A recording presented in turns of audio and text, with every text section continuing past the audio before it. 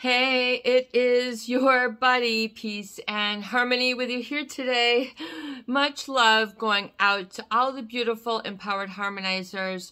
We are zooming in and focusing in on a great viewer question, and that is about the narcissist or the psychopath in this case, sort of ruling the roost, ruling their rule, ruling their world. Sort of always things have to be done in accordance, in alignment, and you become a willing participant with this relationship or even with a larger picture which might encompass sort of a feeling that you have to, you're sort of ruled by them for some reason, that you don't have um, ability to self-govern, self-rule, and have a sense of yourself um, by it being meaning your strengths.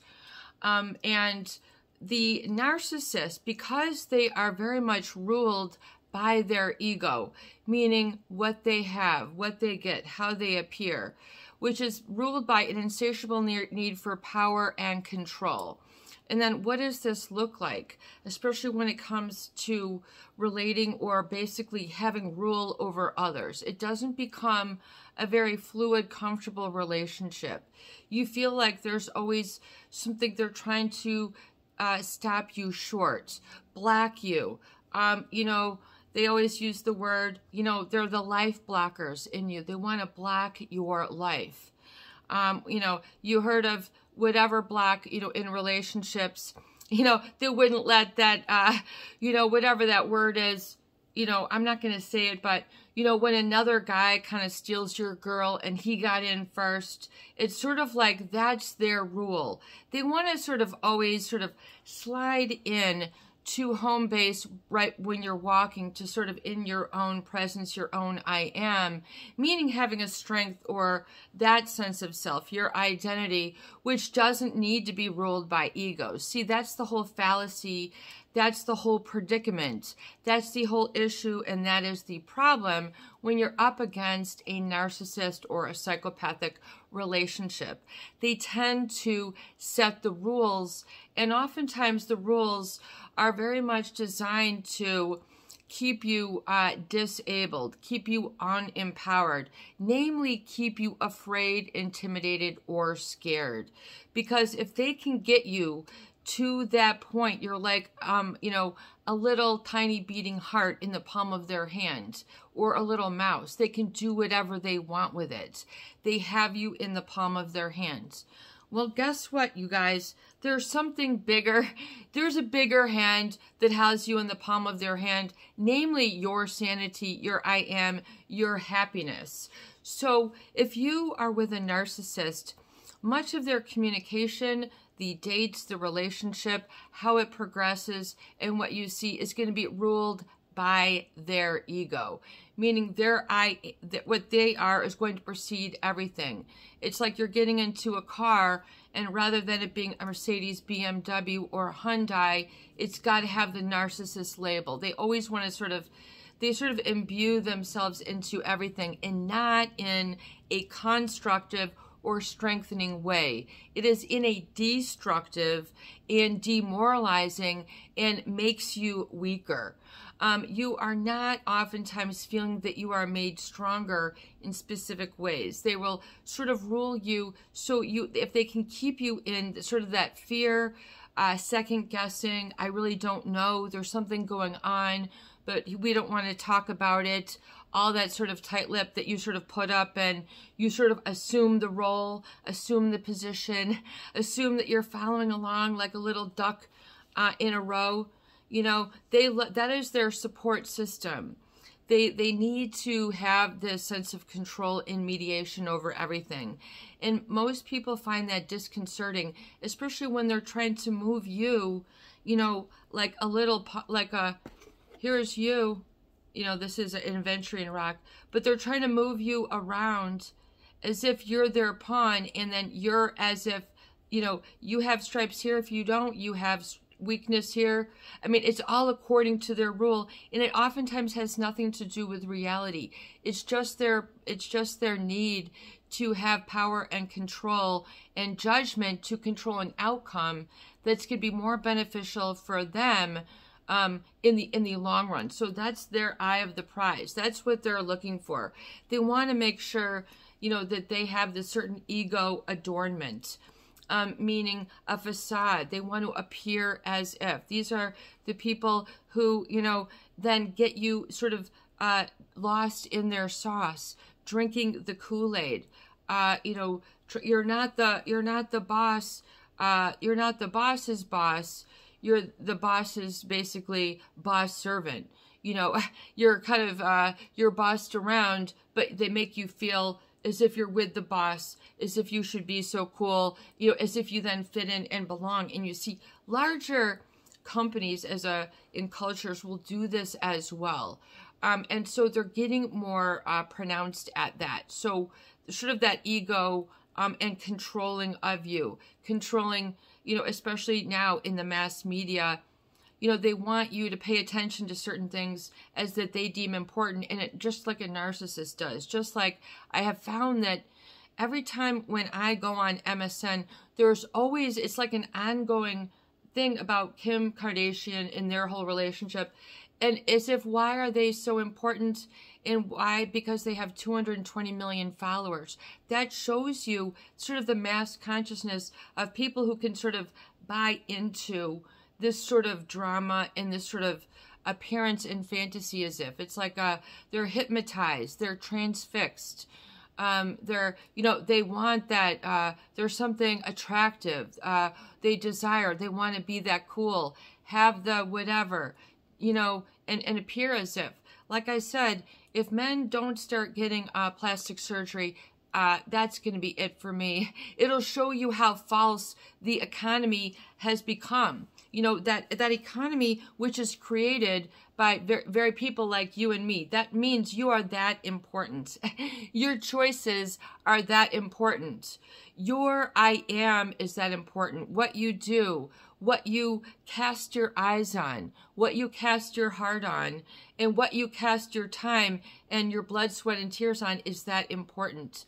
Um, and and so when a narcissist kind of has you in their grip, they they it is very a cold sort of according in a molding according to what they think that you should be not what you should be, it's what they think you should be. And it's their rule, their ego rule. So they, you know, and then it, it, it, you know, and you'll find that then you're you're living and this rock is very cold i'm going to stop holding that one that one is for growth and it really uh, it gives me a message that you really have to release and let go of those things that are cold i love rocks i studied earth science and geology and such in college as part of my degree I'm absolutely fascinated. But anyway, to me, they're really uh, amazing uh, gifts of uh, natural organic beauty in the universe that are really spellbinding. In fact, there was just this uh, thing in the in the news about this 500, 561 carat black diamond that just went for I don't know how many millions, but you know, and a lot of those are, are made from like interstellar, uh, you know, carbons and different things. So they're really rare really, uh, really powerful, uh, you know, and very precious. But anyway, so when when the, and they will they will uh, you know tell you to go, basically tell you to run, tell you to live, tell you to be in the wrong direction. That is contrary to your own uh, basically or organic, your own your own soul, your own imaginings, really what is in your best interest, but more really what is there in the DNA, in the composites of the strength of your being. You see, because they they don't want you to harness and have that because to them it might shut them out. You might supersede them. You might outshine them. You might point them out. They might get found out. They might get called out and then they can no longer have that mask to hide upon because if you get smart enough, if you get good enough, if you question them enough, you'll see that they're superficial or they're lazy or they're lying or they're not supportive of you. So it, it's it, they don't even have to be doing all sorts of horrendous things, but if they're doing the contrary, neglectful, uh, not supportive, uh, never a smile, never anything warm or close. It's always uh, governed by their terms of engagement. Um, and then you find that you're living for them or from the outside in and just sort of showing up in the physical body and really running it to the ground. You're like a, an emotional jalopy. You're just, you know, you got your tires falling off, you got, you know, smoke out the back end, but you just hope you make it there. You know it's that's your emotional level because you'll become you'll you'll become that disharmonized with yourself because if someone is intimidated or will not recognize or give validation or cannot bear witness um and of your strengths meaning acknowledge and validate and just being you so the real authentic you is your strength the false fear adapted you, that is your weakness. They will have you li live in weakness. Just like Facebook would have you live in weakness. If you can forever or watch TikTok, I don't even do that, but I guess, you know, it's a lot of people who watch uh, dancing and all, and they're just not paying attention. Meanwhile, you know, all sorts of things are going on and they don't, they're not even aware. Uh, real important things for example, real true human needs, real you know true causes going on. They they they don't have they just don't care. They will flaunt their egoism, they will flaunt their egotistical values, they'll flaunt their egotistical rules and make you appear or basically more try to ground you down to feel as if you are nothing. So they'll try to put you in the dark, and at every chance of every day, they'll try to remind you of what you are not because they are what it's all about, you know, now and for all you know so for that it's all about them. And then they're they're trying to call things out. See they they get their power by trying to call things out. They like assume the role you know of judge is, is as if you could have someone who just walks out to a picnic bench and is just like, Hear ye, hear ye, hear ye. I now say that, you know, you, um, you know, no longer can, your money is no longer good here uh, because you're not vaccinated or something. You know, they're trying to set the rules as, as if, like, you know, just in relationships. They're trying to be very defined what's in and what's out. This very uh, oftentimes cold, uh, um, relentless and um, oftentimes it is that they know the the uh, the narcissist knows who to call out and who to really rebuff and who to hold in close. I mean, they know how to hold them and then when to fold them. These are your master people card players. They know when to pull you in, when to throw you out. Let me pull in another card. Let me see what they got. They're good for a date for this. And then maybe, so they, they will just help themselves to whatever, whomever, whenever, or whatever. They might steal things from your house, strange things from your office. They might carve things. They might be very possessive of, uh, of objects um, or people or relationships that will make you crazy, that will make you seethe with anger or jealousy. They will brainwash and gaslight as part of their communication style as if they rule, but there's always something behind that tendency, and it's for them.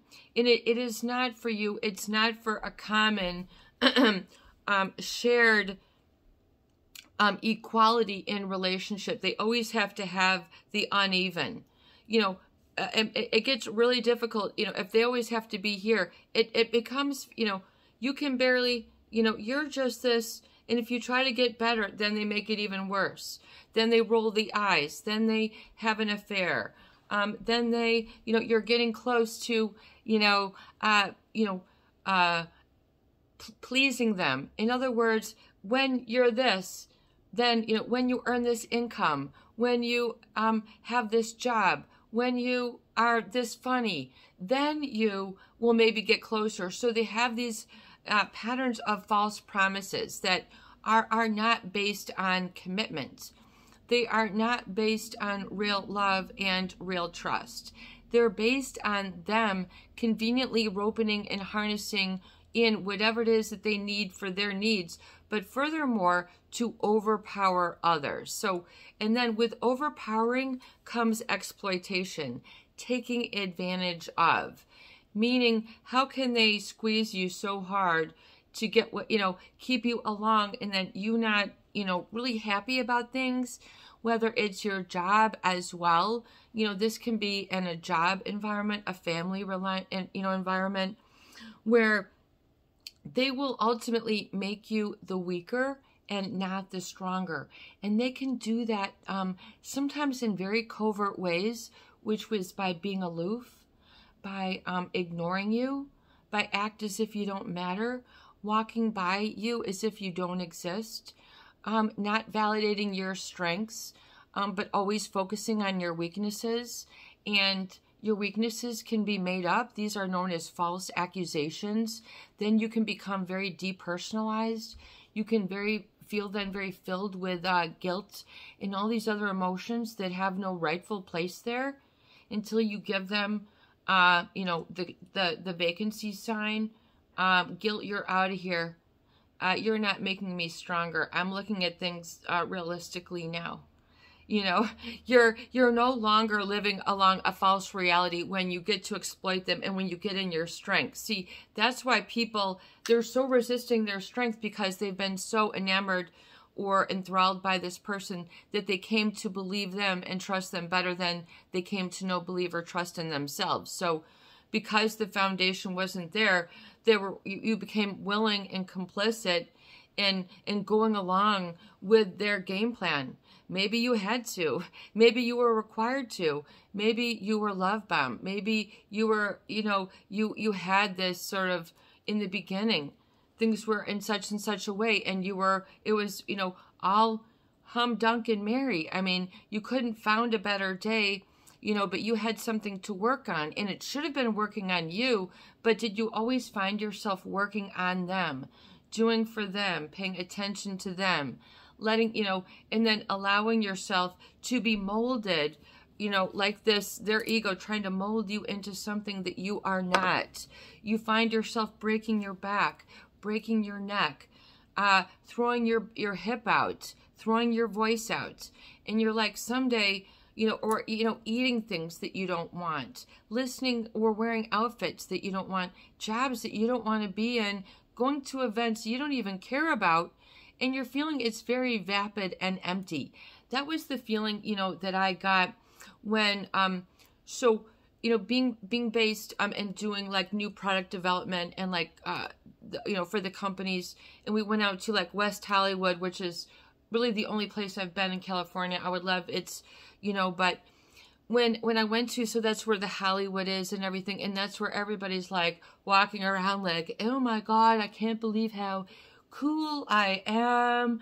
You know, I mean, they are just so enamored with who they are. I mean, you know, there are some great talent out there. I'm not ditching the place, but the people who are the wannabes or who want to be like that, which then are the great influencers. I, I would say even more than our our U.S. government would be, uh, you know, the the entertainment industry. And, and, and probably one family probably uh, owns all of it for all we know. I think they do like all the investments beyond that. It just goes to show you you know this there's a, a some people they have a seething need for power and control. So rather than waking up and and you know and having um humility or gratitude or I had a great night's sleep. You know, thank you, body, for doing your job and making restful and restored. And thank you, body, now that I'm eating well, I can feel the difference. I'm eating fresh fruit and veggies, and I'm not drinking the sugar or the alcohol or ingesting those kind of even feelings or memories because ingesting that kind of communication is kind of like junk food. It's kind of like sugary uh, donuts that just make you feel empty or vapid. So I learned that I was sensitive very on to my palate. But when I went to um, Hollywood and we did that, you know, there for whatever that stint um, that they flew us in for, you know, stayed in. Um, and I was like, oh, there's David Spade and there's, you know, Louie Louie or whatever, all the people. And everybody's just trying to be like, oh, you know, and I just remember I was there, they gave us some funds for, you know, 250 for the day, something extravagant, you know, going and we had to it's all up and down it's not a very walker friendly Um, I mean, there aren't a lot of buses, so it's like really craggy. And so, and then you're just trying to, you know, um, be there, and someone's like trying to walk. Oh my God! Like you're, I love your, uh, your bracelet. You know, that's so, you know, and but and it's just so false, and it's just not like oh, you know, it's just it and it, it breeds and it breeds more of that on the daily. See, is what I'm saying. And when I left there, I found it, it was very vapid, and I could not wait to get back home to my home uh, area because it has a lot of soul, breadth, depth, and vitality as well as style. It's not, you know, um, and I, I keep a lot of my identity, of course, here because of the nature of the channel and everything. I keep that concealed, you know, here for the privacy, just as we do for yours. And by the way, huge shout out to those of you who have recently donated to the channel. Thank you so much. It's my honor and pleasure to be able to have this discourse and uh, dialogue with you because oftentimes it's so much wanting or lacking and it leaves you, you know, empty or vapid, you know, um, in, you know, in the shape for somebody else you know, um, and not the shape for true who you are within based on your strengths. So you become, in very vapid, it means very empty. Um, it means without, it just is sort of missing something. There's a certain buzz that, or a certain sort of walk that the certain, you know, the city of big shoulders or what other cities, you know, you might think of, um, or, you know, the Windy City or what other some areas, you know, the the Sunshine State. Um, you know, they're known for other things or their national birds and things. But, you know, certain relationships that are based on ego, they're going to be very stressful and they're going to cause you to become very exhausted and empty and you're not going to feel that it's a, a sustainable relationship. It is not eco friendly. It is not environment friendly. It'll cause you to be polluted and to feel that you're living a polluted life and one that is not based within true sensuality, being in a comfortable body, feeling alive and vibrant, feeling okay.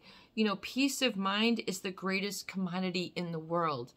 People you know, would, you know, spend millions to to find it, you know, and then might never have it because they go chasing after it. The narcissist gameplay is oftentimes in the chasing, it's not in the making. It's in you know you're you're there's always a fall there's there's never a building there's always sort of a degradation this this is not in the name of love. A lot of people have a misnomer.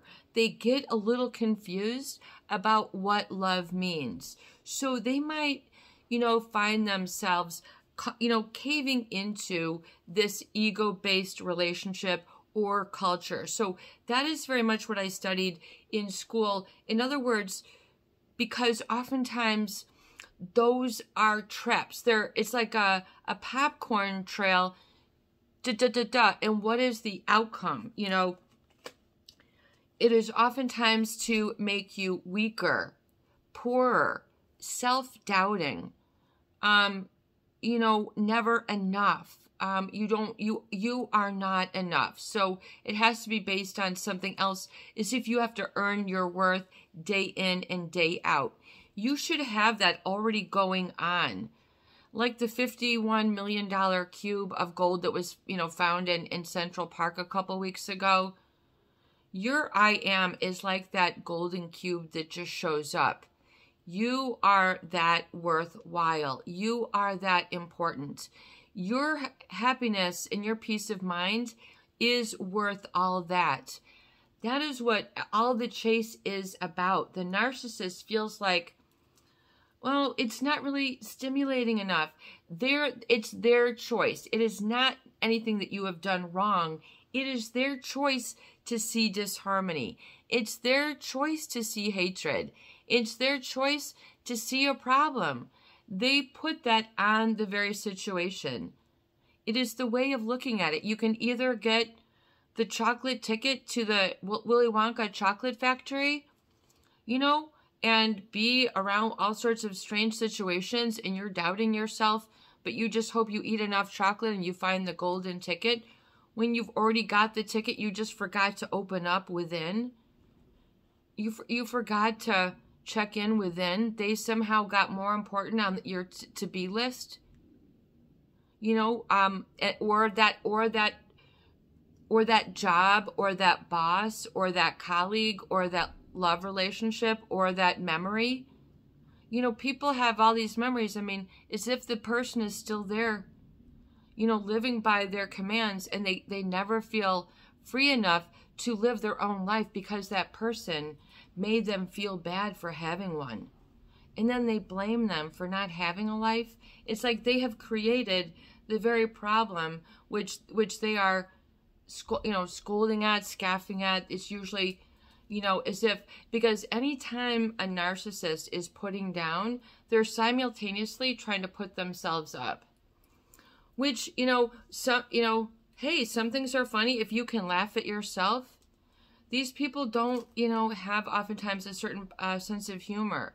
You know, they, they do not laugh at themselves. They're the ultimate, very, very serious, gravely serious, oftentimes brooding people you know, and they get very, they get hung up over things that they should let go. And you find maybe a lot of your relationship is spent helping them, uh, you know, letting things go, helping them. Uh, so being their support system. Hey, jump on my back. Hey, yeah, I got this. Hey, yeah, you know, and then meanwhile, you know, you, you broke your back and they're like, I gotta go. Nope, you're weird you're you got you're you know and then they'll mistreat you and then that is the worst because that will leave a lasting impression oftentimes because oftentimes what you're finding out is what was there in the beginning. So you can save yourself a lot of time just like when you look at other sort of habits that you are not happy with or that are not building you up or that are driving you crazy or driving you bonkers or driving you mad or beyond that, you know, bringing you to financial or emotional ruin, or you're just, you don't like how your environment has become and it's time for a change. Well, guess what? There's opportunity for huge change, especially right now with the pandemic. You have to re- realize that there's a lot of free floating fear out there. Oh my, you know, don't go here, don't go there, don't touch, don't look, don't be close, don't be close don't go cover up wear uh, you know wear a mask you know you don't and and oftentimes you don't realize the anxiety and the depression and the pressure that even though you don't acknowledge it and validate it it's just coming at you from all angles you know um, from the peripherals. If you're if you don't just i'm you know if unless you just turn it off you don't have to go along and say i have to be constantly have the the tv on or constantly have that ego buzz going of, you know, sort of being the follower.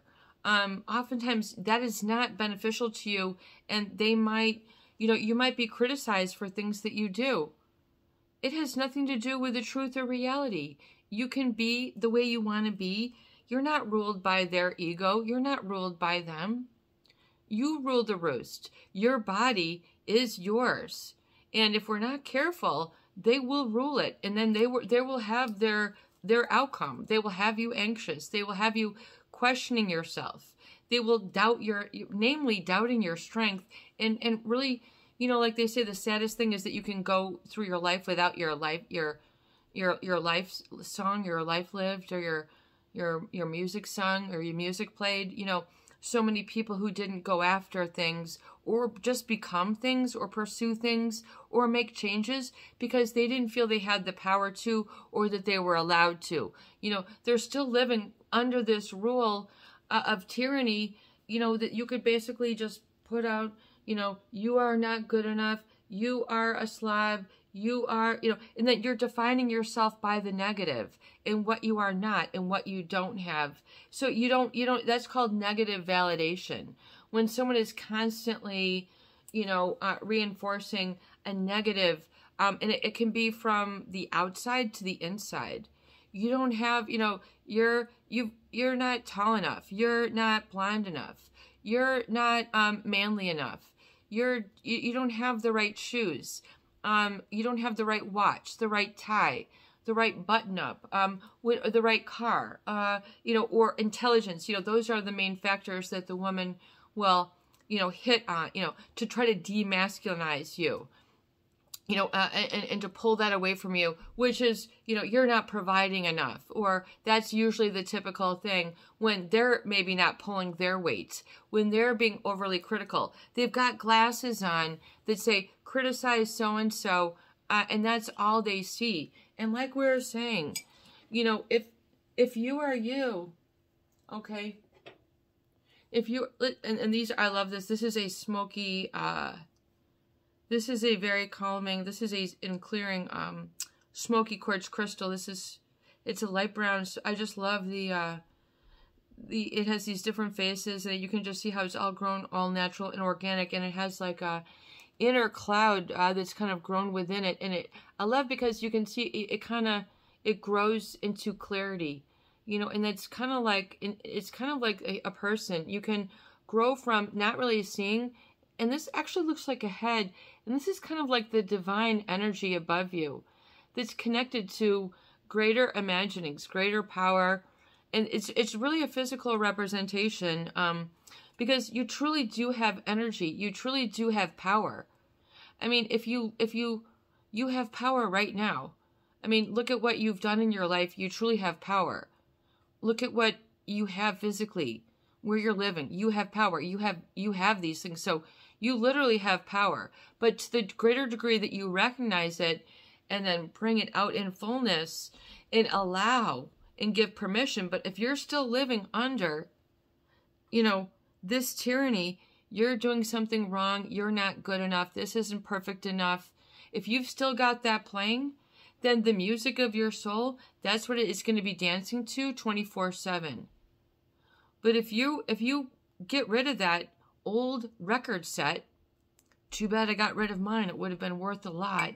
Had all the Rolling Stones, all the Who, whoever else, Xanadu, all the 80s. I had all those albums. Anyway, they were very heavy also.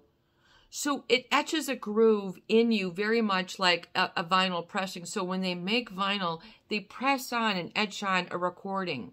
And then you put the needle on it and it plays the song. We used to have records back in the day. Some people are like, yeah, we're going to bring it back. It has such a great warm sound. You can hear all the stuff in the background. Well, music has changed too. And, and, and, and you are, are changing also. And what you, um, how you feel and, and the strength that you live by is up to you. It is a choice. It is your determination. It is your decision.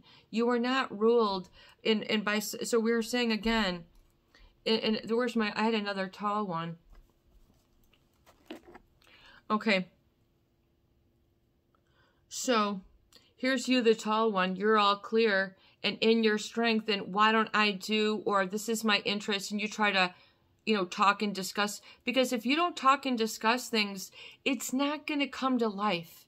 You know, like they always say, you know, if you read a book, it's it's better if you then talk about it because you'll have better comprehension the same thing is with your life and with your feelings and your emotions if it's better to talk about it and just like your strengths your feelings what went, went on with you today what do you need how are you doing are you hungry did that ever does that kind of come up you know? Is it is it equal or is it is it like way imbalanced if is it like 90% and then 10% what do you want? Or maybe it's zero? Your percentage is way off? This is not fair. It's not fair to you. It's not fair to your future being that precedes you. Your strength precedes you your strength is an energy that precedes you but they won't call that to being because they are terrified they are frightened because if you are aware of that then you might not put up with what they're dishing up. You know, they'll say, "Oh, you won't you'll need something real. You'll need a real commitment. You'll need a real woman. You won't need the phony me that just pushes men around." You know, the female psychopath is a very difficult creature. You know, will will really use men um, and be very hurtful to men, yet men are always supposed to oh, I got a bigger, I got to grow a thicker beard and I got to keep my head up a little higher and oh my God, my wallet, uh, my stomach, my roof sure ain't there anymore. But uh, I better grow, you know, they will take you until you go, whoa, my bag right here is small enough. If you want to leave me at the curb, this is as small as I'm going to go.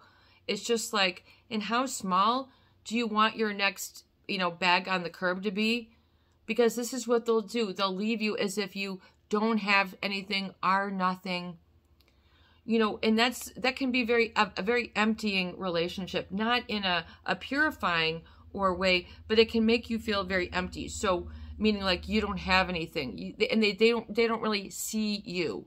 So you can feel that they don't really see you, know you, accept you. There's there's you have to there's many layers in this. It's just not what the narcissist says. See, but if you become with your strengths, then you can say, I don't need this anymore. And then they that could be terrifying to them because then you might leave the narcissist first. You might leave the psychopath first. You might expose them and they might end up looking worse. And that's what they want to prevent. That's what they want to control from. That's what they want the power over. To them, uh, it can be a very gamey way of living. No, thank you. No, thank you. Thank you very much. Um, that's okay. The music of my soul it's really coming out now, you know, and you don't want how many songs, you know, how many days do you want to listen to heartbreak songs? I don't have enough songs. I'm not good songs. And then you're eating the I'm not good enough milkshake. You're eating the food that makes you feel sick anyway, but you always used to do this and you haven't taken stock. You haven't really examined or experimented with really your vitality, your energy, and your wellness. Instead, they're winning at the game right now. You know, you're you're worried sick, you're worried stuck, you're worried broke, you know, you're just flat unhappy. You know, and and and that is something that you might have to articulate that has been, you know, oh god, I'm unhappy, peace and harmony, but this shouldn't make sense because I have this and this or the you got to get that out there you know it's like it's a it's an energy it's a feeling it's energy in motion this is in your energetic etheric being you know that surrounds you and it it emanates from you and it comes from a god source. I mean you're part of you know you're part of this world. You're not just living for the narcissist. There's more to you than that and you know it. But when you kind of feel like there's more to me and I know it and they don't want to see it, they don't want to know it, they don't want to help it or support it, then you know they've just sort of maxed out their relationship with you and that they haven't they're not able to to you know have that give and take and then it's okay to say time out. See but they'll try to make you feel as if you are guilty for having your strength or asking something different of them, which they cannot provide, namely, which would be a certain type of communication style, which would be honest, genuine, and just sort of more comfortable. See, but there's a certain communication style, the narcissist, nope, black, nope. See, they, they know because to them, they've got their eye on themselves and what they want. So their vision is just going to be like this. And if you, you know, they're they're they have a certain way and then they'll do whatever they need to do to deflect it and and they'll have a lot of other people around them that will um that will support that. And so you'll feel like the the lone man going and you won't feel like you belong because of a certain way that you are treated. Um and you don't have to you don't have to continue to be molded by them. You can be something different. You can be yourself. And that is magnificent enough but be- because they couldn't acknowledge it and validate that that sometimes then it becomes very scary to live or embrace your truth which is your freedom which is your energy. It becomes unrecognizable. Happiness becomes true happiness becomes unrecognizable to yourself or when it's there you don't recognize it. You don't know that you're happy because you have chronically been taught not to be.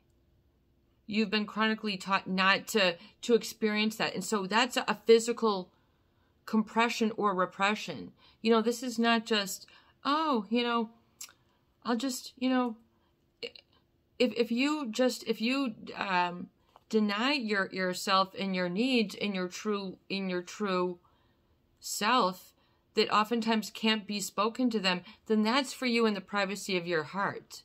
But if you need to truly acknowledge and validate and get very clear, very, very clear about some things, and you'll find that they're not that attractive. Ooh. You'll find maybe I don't have to have a life that's all about Facebook. I don't have to do all that. Oh, I don't have to be in having such a such a job that, you know, that is fake, false, or where I'm not validated. Or I don't, you know what? That relationship, even though this, this, and this, it's really not good for me because, and I know it. And you don't, you know, beat yourself down and you get very clear. And once you regain that more and more, you'll realize that your mold that you were, cramped under is opening and you're able to be liberated and see, and you'll begin then to open what I call, you know, resensitizing in your healing. You have to resensitize. You have to give honor and respect and reverence for yourself because that is the experience that is you are kept away from and and not you're not able to share in that simultaneously the room ain't big enough it's me or you buster it's me, you know, it's me the, or the highway. It's this way, the, the ego ruling, the egotistical way of life. You might not find that that is a good fit for you. Being unacknowledged, being unvalidated, telling that you're weak, that you're not good enough, that you don't measure up. That, you know, is, is basically going to become a very um, unwelcoming place. And then you'll feel that, uh, your feelings are unwelcome to yourself and then you'll begin pushing them down and then they'll go unexpressed and then when when you do that long enough it'll create a, a certain block of emotion that eventually will need and want to break out and break free and will find itself if, if you go through the allowing and you're able to get it down on paper and you're able to use all of your senses to acknowledge and validate it this is my truth and this is free and I am content. You know, or you can say, I am no longer attracted to the false or the fake, and therefore I do not have to be that way. I am not the woeful that they make me out to be. That is just their projection. So it's like they're literally putting on glasses that don't have anything to do with reality. It is their judgment. It has nothing to do with reality. It is their communication. It has nothing to do with reality. It is their demeaning body language. It is their stance. It is what then you had absorbed. If you were unprotected and you did not know better and you were wide open to this and you were just drinking that all in, you were drinking in their Kool Aid, whoops, you bought into the program whoops, you you had to spend all of your day on Facebook trying to figure it out or how do I get enough friends or how do I get in my Instagram or how do I, you know, people go to all lengths, you know, to to be as if and to have this false persona and it's a high maintenance lifestyle.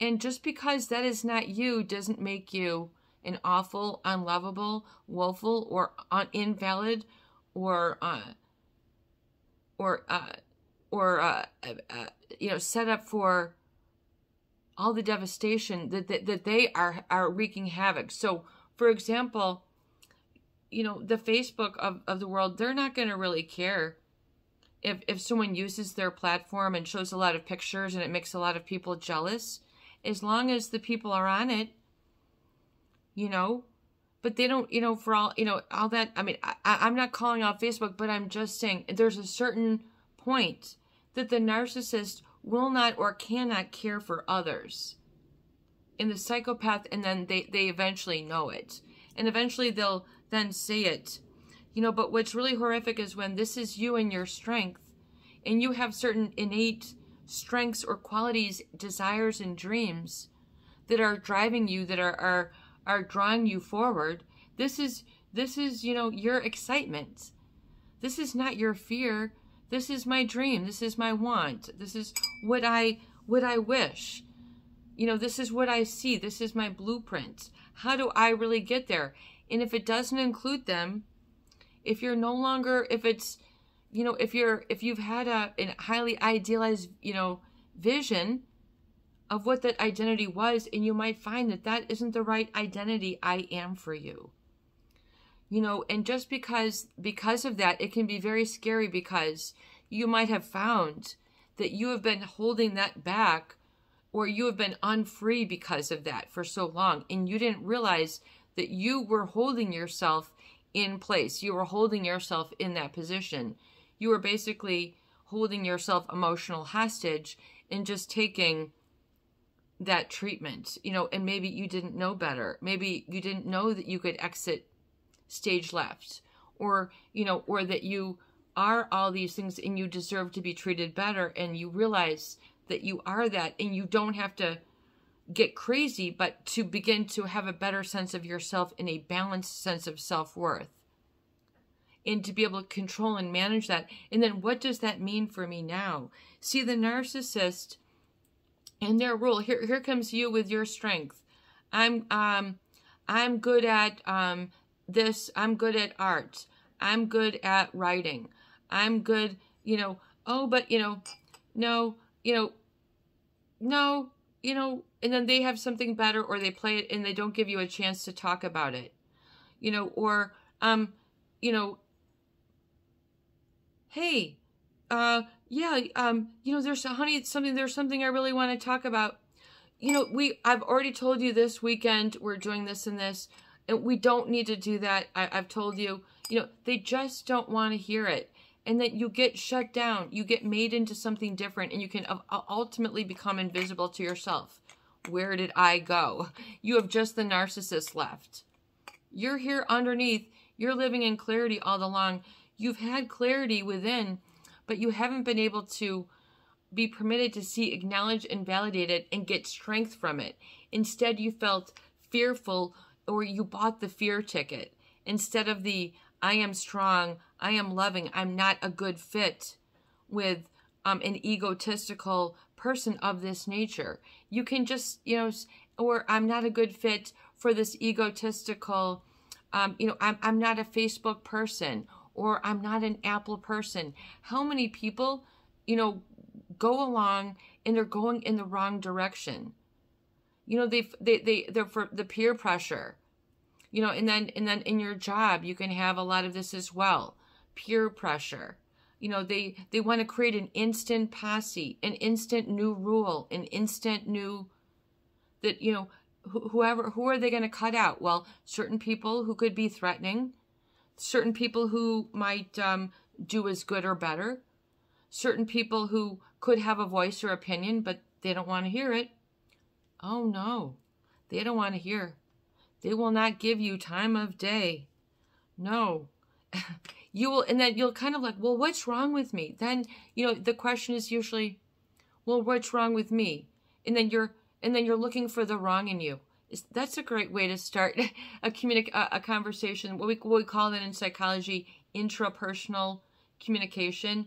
This is by far, I think, one of the most important rules or strengths you will learn and you might feel that this is scary, but once you harness this in all the many ways, it can um, it can transform you. When I call like my multi-sensory and sort of quantum field, quantum energy approach, because there's something better. There's an energy, a strength that comes to you, and it can be a very peaceful, strong, you know, foundation and a calm where you're not second guessing yourself. When you're long, further along in the enough journey and you go, I'm not all that, you know, that the narcissist has made me out to. I'm actually this. And because they can't say, you're great at this, you're great at that, I appreciate you, you know, you're, because they can't mirror back to you your strengths in the ways that you need to, other than the superficial or vacuous, the empty. you know, in the Hollywood, you know. Um, that's why I was so glad to come back because I felt where I had come from was a lot of soul, a lot of vibrancy, a lot of style, you know, good, you know, um, music and restaurants that can then typify this and not the false. I mean, if you, you know, I myself, I, I am vegetarian. I do eat fish and I do try to keep it once in a while because I really am feel, I feel much better when I eat more uh, of that um, veggie and like asparagus or anything. I mean, a lot of this stuff is so quick and easy, but the narcissist, oh, well, why don't we, you know, get this? Everything is, you know, look at look at these box dinners from the chicken. I mean, those things can be 3,000 calories and people are eating it just for lunch. They have no clue. You know, this is, you know, it's all about sort of someone else's ego and not having respect for your own and then wondering why you're biting out, getting weak and sicker, and you, you develop eating disorders, uh, gambling disorders, shopping disorders, um, all sorts of other disorders, which can be easily cured. But oftentimes, if you have this sort of um, uh, record, um, that vinyl that's been imprinted really deeply and grooved, and you've played it a lot, and you've made sure you could really listen to the narcissist, then it'll tell you you've got a lot of narcissists that you have tried to accommodate and a lot of self-sacrifice that you made um, in that time frame. So you really have to be able to sort of come back to self and sort of cradle yourself like like you know cradle yourself like just sort of hold um you where you're at right now in your arms you know and just get a get a take a step back like the beatles get back and hold a space for yourself.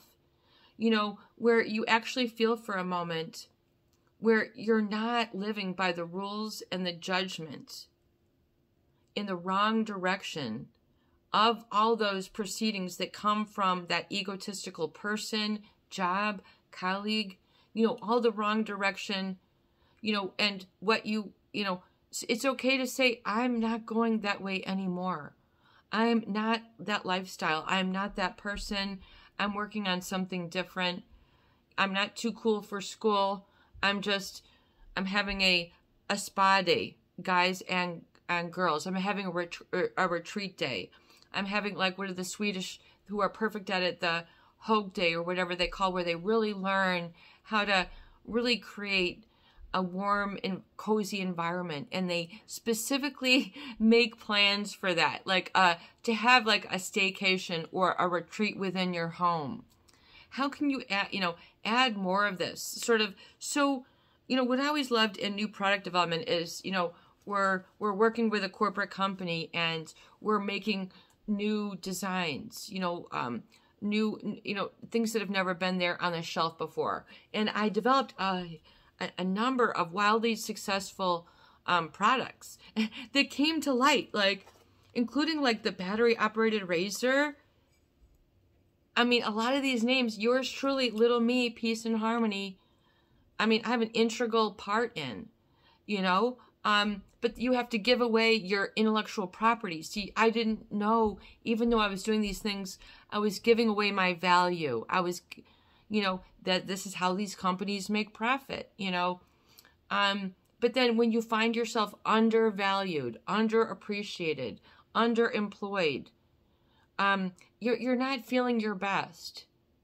And you're you're really like, how do I, you know, you got to come to a crossroads. You got to come to Strength Junction. You got to come to Big Rock Junction. You got to, you know, come to, you know, come and then and create that that space where you've got really some free will flowing um, because oftentimes that's really not actualized um, when you're coming out of a lot of this pandemonium where you've been Mr. or Mrs. So and so and you haven't been yourself. You don't have your own identity. You're not, you know, um, you are not encouraged, supported, or to be so. You always are feeling like you know you're you're just not belonging or you're something is always wrong um are they going to be there uh you know there are so little by little it will break you down see and they will they will break you down See, and I love these. These are like these little like, um, these are these Palo Alto rose, rose petals. And I always, I see in the book that I'm working on, it's really important that we get, when we talk about these intangible things, at least that I always feel, it's important for it to be applied and to have results. Meaning, do you really get, can I give this some info to you? And we can talk about this, not that it's too psychoanalytical, but that it's a simple enough as a one, two, three sauce that you can whip up and say, I got it, peace and harmony. I was living, you know, under a false pretense, and therefore I was living under erroneous thinking, flawed thinking. Flawed thinking will result in flawed feelings. and then it will cause you to uh, make flawed decisions or you know that aren't in your best interest and you're always trying to kind of like steer the ship back on north am i can i? Can i trust my myself? When you have an allowing you see that is the artist. When they're allowing to uh, uh, you know a paint they don't know where their next brush is but they kind of know.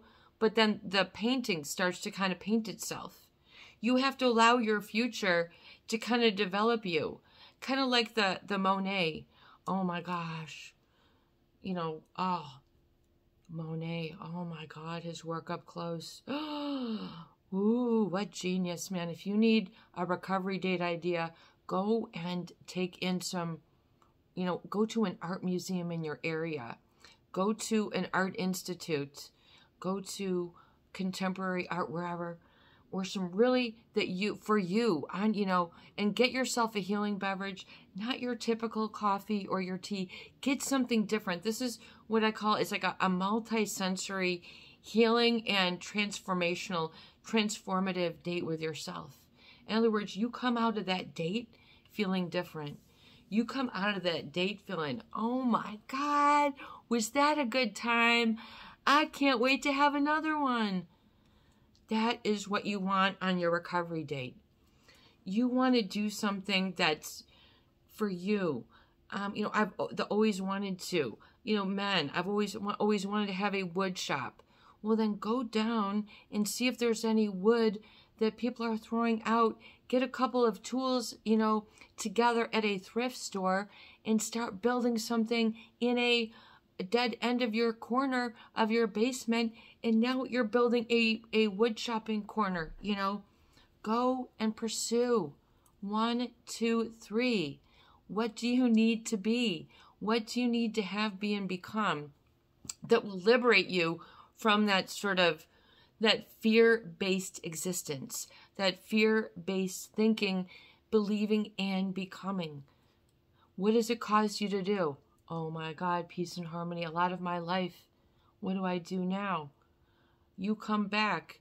You put on the Beatles. Get back, get back, get back to where you once belong. And you start singing a little something. And you go, okay. You go, okay, I need to do, I need to remove fear from my life and from my household and from my workplace. This ain't no way to live. Thank you very much. And just like in the book that I'm talking about in in the recovery journal, you should also have like a procrastination list. These are the things you don't like to do, taxes, whatever, paying bills, you know, certain things you've been procrastinating about. If you just do a little day by day, like you'll get it done and it'll no longer be looming above you. Instead, you'll have like this little uh, crystal, you'll have it clear Clarity is looming above you. You know, you don't have that heaviness looming above you. You've already got it processed. These are big, important things. It's important that you understand the multi-sensory approach. So, for example, on a recovery date, it's so important what you take in with your eyes because that will be reflected through your hands your ears, what you say. It will come out the other end. I'm aware of this as I am a writer, a doodler, all these different things. You know, peace and harmony. You know a lot about me here. I've been, I've had this channel. So I know how important it is. What, not what we put in what do you call this? Your, you know, get this in. You're also consuming with the very eyes. What you cast your eyes in, the fine details of things, will process and come out the other end. So if you start taking in great writing, great visions, you know, great colors, great designs, these you're you're you're consuming. If you look at the fine, you know, if you look at um things and look at the fine detail, and you know, or the high, you know, you're consuming this and you know you're you're consuming these things throughout your day and if you want to manifest and know your very power of your being you'll then realize and have reverence for that and realize then that you don't want to consume a lot of junk images a lot of junk sounds things that are in the negative or are dumbing you down making you less cognizant or less aware and not lifting you up and helping you grow. So if you feel that your life is becoming mediocre, look at all the senses then, including the etheric field, the etheric energy, in harnessing these in on the recovery date.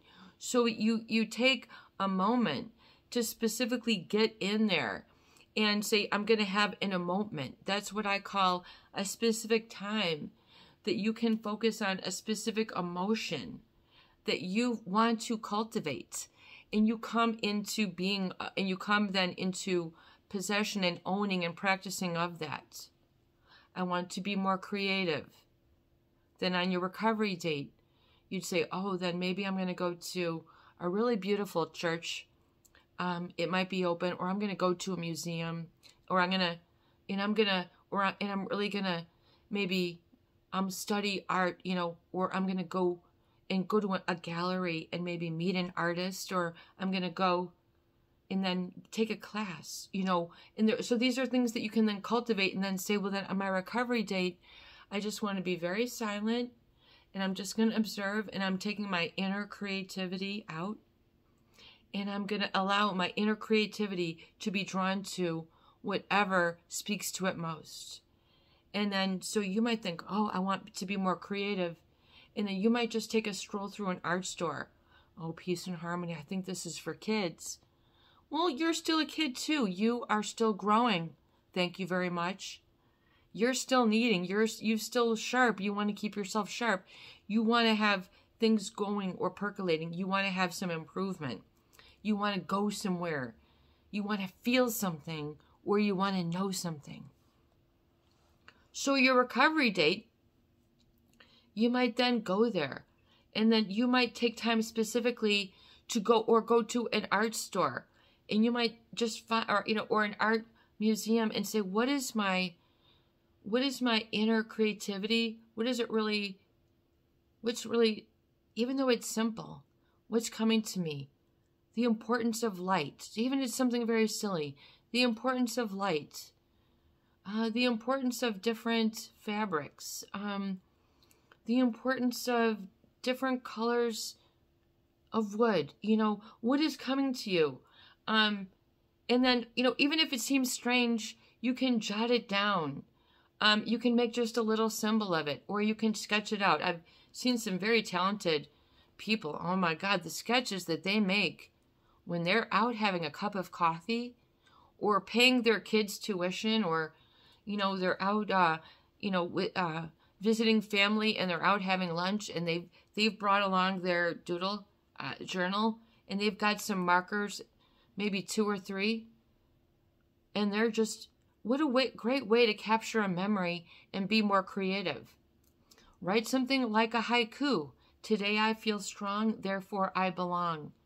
Oh my gosh, peace and harmony. I just today i feel strong and then i belong what you know and so and so you might then go in at that art store you might say that's really weird but i like this clay stuff like wouldn't that be cool if i could and then you start saying and you thought it was going to be paints but then you find it's more clay or you thought it was going to be clay and you find it's more music or you want to do something you know really different like crystal singing bowls or you find that your inner creativity, you might get creative with movement. And then you say, well, then I want to take like a different type of class or get some different type of tools or how can I incorporate these different types of mediums? And then the scent, you know, comes into being. And then you sit with the sawdust. And then you know and then when or when you go to the museum instead of getting the regular you do something different you bring something different instead of just going you bring a little notebook and you say you know what in the grocery store i'm going to write down one impression that makes me feel that i would really like to go in that direction in the future like eating green and you just write just write it down make a commitment to yourself and look back and then take action on that little snippet that you gave yourself. That is the real you that's like, hello, pick me up. The little infant, pick me up. You know, the, where the narcissist, no, I'm not picking you up right now. I'm not listening to you right now. I will not be there for that right now. Um, oh, you know, you, you found out, uh, you know, all sorts of horrific things, terrible things have happened uh, this person has uh, another job um, and they're betraying you. They have another marriage um, and they're betraying you, and you thought you were going to get married to this person. Oh no, they've got someone else. Or they were in this job. No, they don't want you to be strong here. They're going to make sure you feel left out, disorganized, uh, da da da.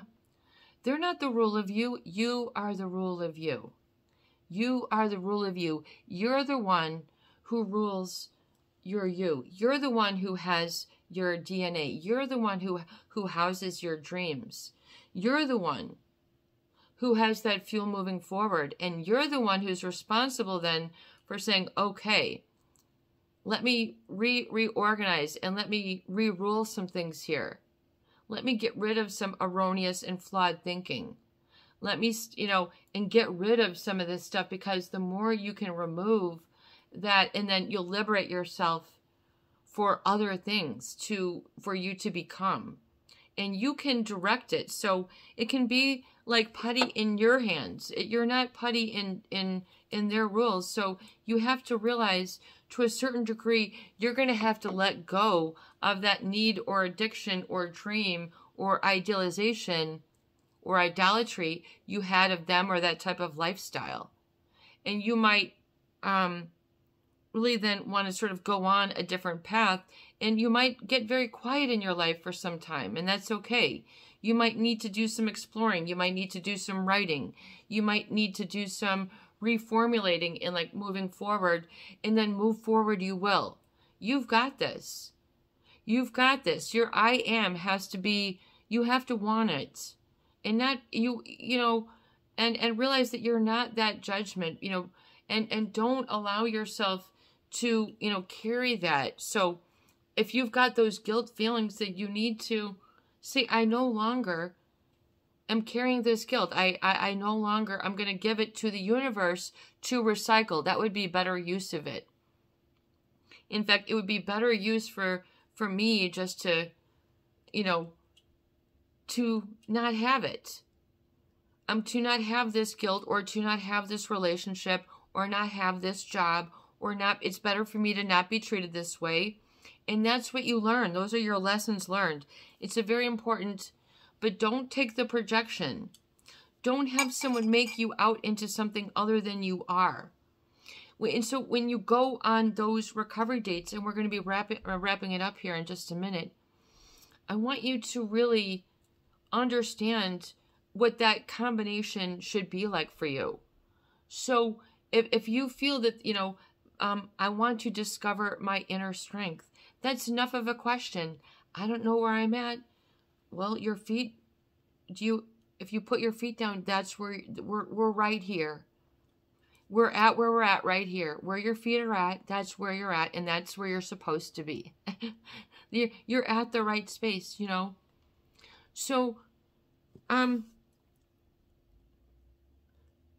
you, you can't then, um, take behavior that is false then. You have to be true to you. And that is okay. And then you can then shape and modulate, modulate. you then have power, control, and rule the roast. And so then you can ask yourself, what are 10 rules that I really want to live by today? That I want to live by for myself. You might not have 10, but you might have 20. You might have 10, but you might have one. And one is enough of a start. What are the rules that I live by? That I have to give priority. You know, this has to be, this has to take place. And and so it is. And then claiming that so that you are the priority and being supported is your so being supported and and and feeling supported might be a priority for you and you might say oh i can see you know what this person over here they really are supportive and how kind you know so you know really and then fuel yourself up fill your cup up with what you desire and make sure you make some radical changes by getting rid of the erroneous and flawed thinking, feelings, and emotions and re- reformat them. Really, what I feel is reframe them. So if you're feeling, you know, I'm so lonely, you know, I am so liberated. I am so isolated. I am so liberated. I am so liberated here. I am so excited to really take charge of myself and my emotions and steer the ship. I am so excited. I don't know where we're going, you know, but I sure know where I've been, you know. Um and then, you know, and you just what what is that song? Here I go again on my own. You go again.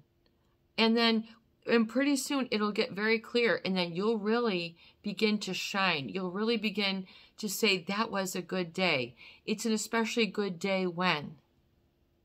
And know what that is.